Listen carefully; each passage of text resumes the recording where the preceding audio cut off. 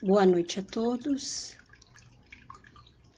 Quero, em primeiro lugar, agradecer esta oportunidade que nós estamos recebendo de poder estarmos aqui, reunidos, em nome do nosso Senhor Jesus Cristo, nosso Mestre, nosso irmão. A Deus, nosso Pai, nós agradecemos pela vida, por existirmos ao Antônio de Oliveira, o mentor responsável por esta casa, que nos acolhe, que nos recebe, nós cumprimentamos e pedimos permissão para aqui estarmos. E agradecemos ao Celso, que nos convidou, que nos deu esta oportunidade. Então, nós vamos, nesta noite, conversar sobre é, a última ceia. Esta lição está no livro Boa Nova, psicografado pelo Francisco Cândido Xavier, o nosso querido Chico, que tanto nos auxiliou, nosso contemporâneo, né? Que tanto nos auxiliou e nos auxilia até hoje. Mas a mensagem é de Humberto de Campos, capítulo 25, do livro Boa Nova, a última ceia. Então, assim, a, o, eu prefiro sempre estar lendo e conversando à medida que vai fluindo, para não ficar muito achismo, porque nós somos ainda tão imperfeitos, né? E nós ainda temos essa visão tão aqui da matéria, nós estamos tão presos aqui na Terra. E aí, se a gente começa a falar é, do que a gente acha, eu penso que a gente perde um pouco esta função de estar interpretando, né, com a nossa visão estreita, a lição do Humberto de Campos. Então vamos lá, na narrativa, né? O, a lição começa assim: Reunidos os discípulos em companhia de Jesus, no primeiro dia da festa das, da Páscoa, como de outras vezes, o mestre, o mestre partiu o pão com a costumeira ternura. Seu olhar, contudo, embora sem trair a serenidade de todos os momentos, apresentava misterioso fulgor como se sua alma, naquele instante, vibrasse ainda mais com os altos planos do invisível. Os companheiros comentavam com a simplicidade e alegria os sentimentos do povo, enquanto o mestre meditava silencioso. Em dado instante, tendo-se feito longa pausa entre os amigos paradores, e aí nós fomos pesquisar, né? Pa, Paula, pauradores, é tagarelas. Entre os amigos tagarelas, o Messias acentuou com firmeza impressionante. Então, você vê a misericórdia de Humberto de Campos, né?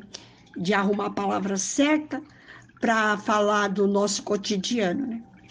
Muito interessante. Por isso que é, é sempre bom nós estarmos, ficarmos aqui no texto, e trazer para a nossa realidade, mas não fugir do texto, é onde a gente tem o maior aprendizado, tá bom? Então vamos lá, vamos continuar. Agora é a fala de Jesus. Amados, é chegada a hora em que se cumprirá a profecia da Escritura.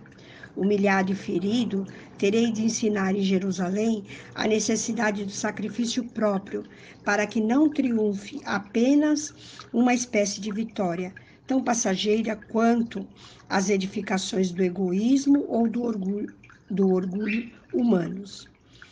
Os homens têm aplaudido em todos os tempos as tribunas douradas, as marchas retumbantes dos exércitos que se glorificaram com despojos sangrentos, os grandes ambiciosos que dominaram a força o espírito inquieto das multidões. Entretanto, eu vim de meu Pai para ensinar como triunfar os que tombam no mundo, cumprindo o sagrado dever de amor.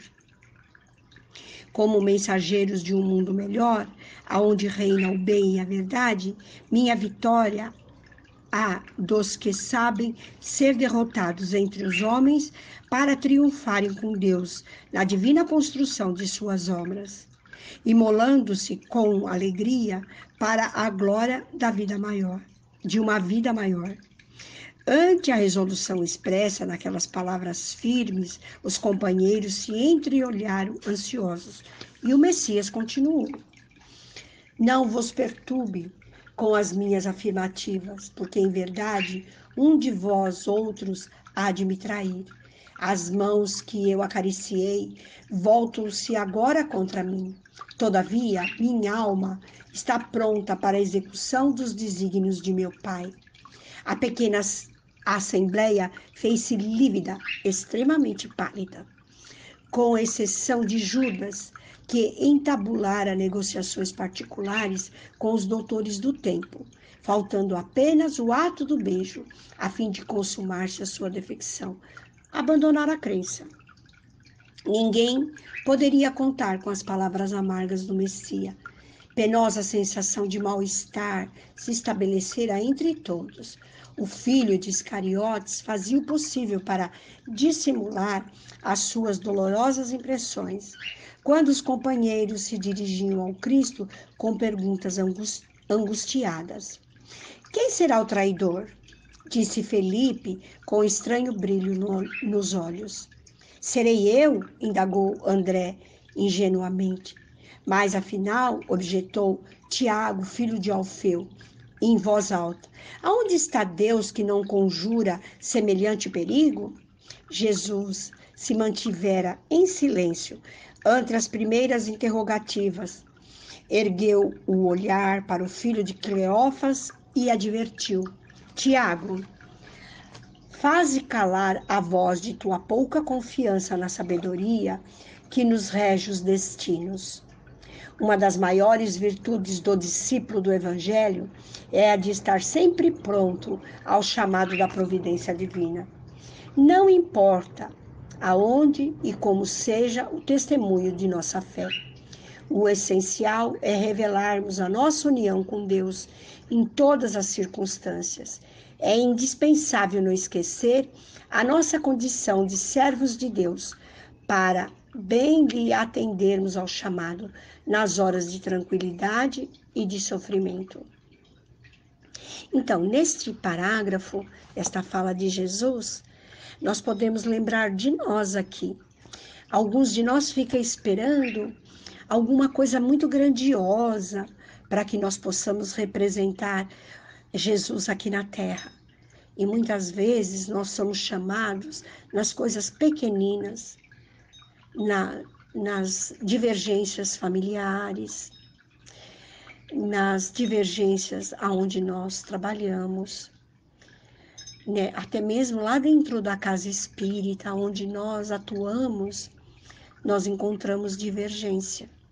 Mas se nós estivermos realmente ligados com a proposta séria de ser um discípulo, ser um aluno né, de Jesus, nós vamos achar o olhar, o comportamento e até mesmo a nossa postura adequada para aquela situação em que vamos vivenciar.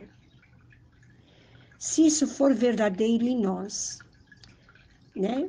Assim como os discípulos, nós também somos imperfeitos, temos muitas falhas, as nossas crenças, né? Como ele, ele fala aqui de. É, ele fala de Judas, né? que ainda ele tinha aquela crença no materialismo e, e ele não fugia àquela crença. Então, ele chama a atenção de Tiago, mas na realidade ele está chamando a atenção de todos nós, né? É, vamos lá, seja fiel, mas sabendo que nós, como alunos, nós temos que pegar a lição e fazer o nosso melhor. Mas vamos lá, tem muito achismo, vamos voltar à lição. A esse tempo, havendo-se calado novamente o Messias, João interveio, perguntando: Senhor, compreendo a nossa exortação, a vossa exortação e rogo ao Pai a necessária fortaleza de ânimo. Mas por que motivo será justamente um dos nossos discípulos o traidor de vossa causa? Já nos ensinastes que, para se eliminar do mundo os escândalos, outros escândalos se tornam necessários. Contudo, ainda não pude atinar com razão de um possível traidor em nosso próprio colégio de edificação e de amizade. Jesus pousou no interlocutor os olhos serenos e acentuou: Em verdade, cumpre-se afirmar que não se será que não será possível dizer-vos tudo agora. Entretanto, mais tarde enviarei o consolador, que vos esclarecerá em meu nome, como agora vos falo, em nome de meu Pai. Olha aí, ele já falando para nós, né, do que viria o consolador prometido, que é a doutrina dos espíritos, que faz com que nós é, voltemos o nosso olhar para nós, prestarmos atenção na nossa reforma íntima. Como ouvi um dia desses uma palestra do Dr. Décio Iandoli Júnior, ele dizendo que nós temos que, antes de nos preocuparmos, é lógico que nós temos que nos preocuparmos, sim, com as doenças do corpo físico, com o vírus, com o coronavírus, temos que nos preocupar. Mas a maior preocupação de nós como espírito é de nós é, sermos hoje melhor que ontem, mas termos ciência, né? Focarmos na nossa melhoria enquanto espírito reconhecer as nossas falhas. Eu reconheço esta ou aquela falha em mim, eu, espírito, né? Reconhece, admite, aceita e quando ocorrer uma nova oportunidade, fazer melhor. No primeiro momento, o melhor é calar, né? Porque quando a gente cala, a gente tem a oportunidade de ouvir. E quem ouve sempre faz melhor. Então, voltando na lição, e detendo-se um pouco a refletir, continuou para o discípulo em particular. Ouve João, os desígnios de Deus, se são insondáveis, também são invariavelmente justos e sábios. O escândalo desbrochará em nosso próprio círculo bem amado, mas servirá de lição a todos aqueles que vierem depois dos nossos passos no divino serviço do Evangelho. Eles compreenderão que para atingirem a porta estreita da renúncia redentora, hão de encontrar muitas vezes o abandono, a ingratidão, o desentendimento dos seres mais queridos. Isto revelará a necessidade de cada qual afirmar-se no seu caminho para Deus, por mais espinhoso e sombria que ele seja. O apóstolo impressionara-se vivamente com as derradeiras palavras do Mestre e passou a meditar sobre os seus ensinos. Então, nós, novamente, né, os parladores, os tagarelas, acabamos é, falando antes de lermos. Aí ele está dizendo, foi, a gente comentou antes, mas está aqui na lição, tá? Que nós temos que ter calma. E quando chegar o momento apropriado, nós vamos saber qual vai ser a melhor maneira de nós nos conduzirmos. As sensações de estranheza perduravam em toda a assembleia. Jesus levantou-se e, oferecendo a cada companheiro um pedaço de pão, exclamou: Tomai e comei, este é meu corpo. E em seguida, servindo a todos de uma pequena bilha de vinho, acrescentou: Bebei, porque este é meu sangue. Dentro do Novo Testamento, a confirmação às verdades de Deus. Os discípulos lhe acolheram a suave recomendação, naturalmente compreendidos, e Simão Pedro, sem dissimular a sua incompreensão do símbolo, interrogou e te interrogou: Mestre, que vem a ser isso? Amados, disse Jesus com emoção, está muito próximo o nosso último instante de trabalho em conjunto e quero reiterar-vos as minhas recomendações de amor, feita desde o primeiro dia do apostolado. Este pão significa o do banquete do Evangelho.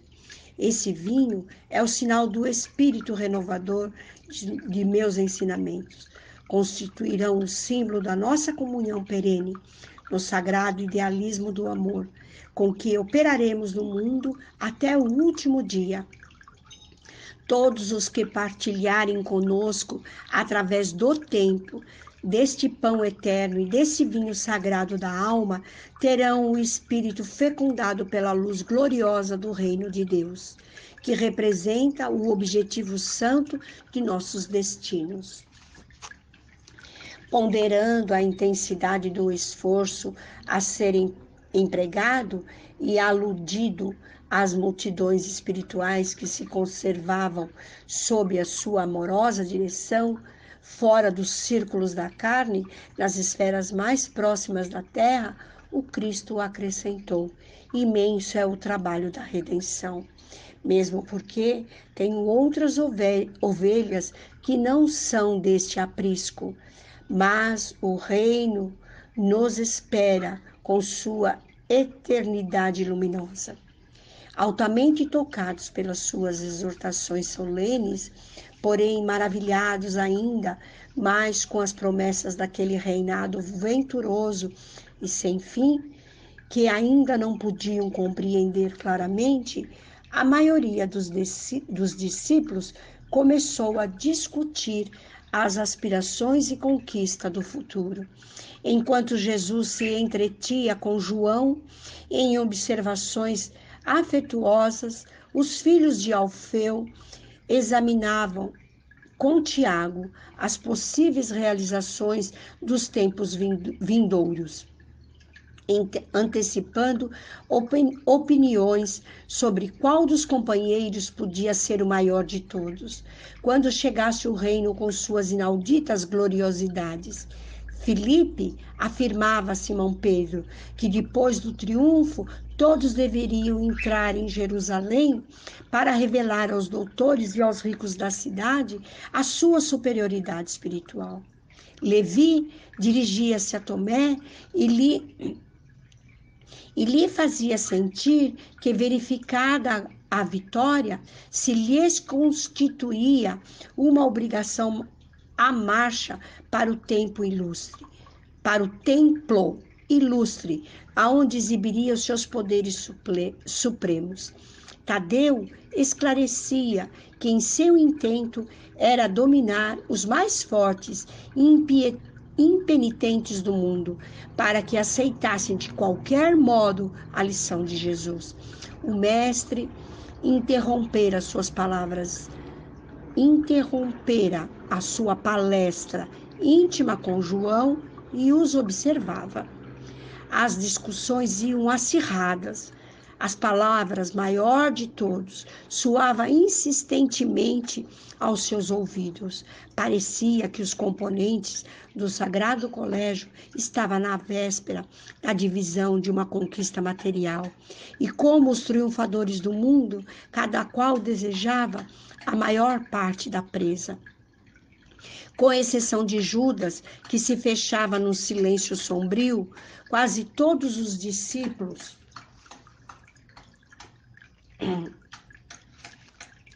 com veemência sentiam-lhe as incompreensões. O mestre pareceu contemplá-los com entristecida piedade.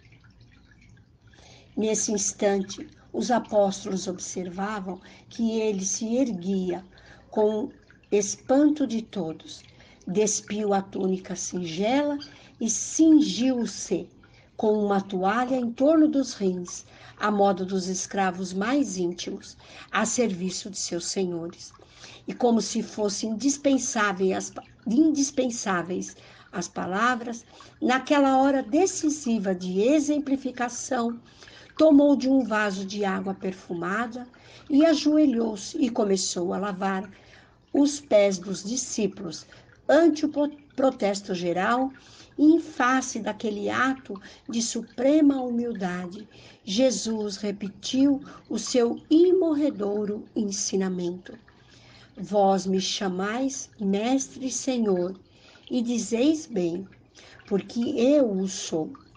Se eu, Senhor e Mestre, vos lavo os pés, deveis igualmente lavar os pés uns dos outros no caminho da vida, porque no reino do bem e da verdade, o maior será sempre aquele que se fez sinceramente o menor de todos. Ah, meus queridos, como é gratificante nós termos esta oportunidade de aprender com esses espíritos de luz. Humberto de Campos, Francisco Cândido Xavier, Antônio de Oliveira, as lições do nosso Senhor Jesus Cristo, nosso Mestre, nosso irmão. Nós calarmos o nosso orgulho, calarmos a nossa vaidade, engolir os nossos preconceitos diante da vida e realmente sermos um discípulo, um aluno do Mestre. É muito difícil, mas não é impossível. Haja visto os discípulos, como eles agiam. É diferente de nós? Assim que nós nos afastamos do amparo e da proteção do nosso anjo guardião, do mentor amigo, do mentor responsável pela casa espírita, da proteção e o amparo do nosso Senhor Jesus Cristo, de Maria Santíssima, a gente enlouquece, a gente fica cego, a gente grita, reclamando os nossos direitos, reclamando, reclamando e dizendo que é injusto, é injusto. Aonde está a injustiça? Se Deus é nosso Pai e o nosso Criador, e Ele nos coloca sempre no lugar aonde nós temos a melhor oportunidade de aprendizado. nós estamos no lugar certo, no grupo familiar que nos acolhe mais apropriado para aprendermos enquanto espíritos que somos. Se nós não tivesse nada para aprender com esse grupo familiar, nós não estaríamos aqui. Deus não tinha nos colocado neste lugar. Se esse grupo da casa espírita que pertencemos não fosse um aprendizado para nós, como alunos que somos, nós não pertencíamos a esta casa. Nós não saberíamos nem o endereço. A casa onde eu moro, os meus vizinhos, os meus amigos, o lugar aonde eu trabalho, os meus companheiros de trabalho. São esses. São esses que vão ensinar-nos a ser hoje melhor que ontem. Ó oh, Senhor, como nós te agradecemos. como nós te agradecemos por esta bendita oportunidade. Nesse estado de gratidão que nos encontramos, nós vamos vibrar vibrações de amor e carinho a todas as criaturas que se encontram doentes, quer seja do corpo ou do espírito, vibremos. Pelos espíritos que estão reencarnados com tarefas definidas, pelos trabalhadores do bem. Vamos vibrar pela implantação do Evangelho em todos os lares. Vibremos. Pelas casas de oração, por todas as casas de oração, seja qual for a denominação, que elas possam continuar cumprindo o seu papel, que é ser uma sala de aula para o nosso aprendizado. Vamos vibrar vibrações de amor e carinho pela Mãe Natureza, por todos os reinos da natureza, os minerais, os vegetais, aos animais e a nós, os hominais. Vibremos por esta casa de oração que nos dá, que nos dá esta oportunidade de trabalho, para que ela possa continuar exercendo este papel de nos dar acolhimento e abrigo. Senhor Jesus, nós te pedimos, desperta em cada um de nós coragem, força, mas também perseverança para que nós possamos continuar a nossa caminhada em Sua direção. Abençoe, Senhor, o nosso esforço, abençoe o nosso trabalho. Que assim seja, graças a Deus. Boa noite a todos.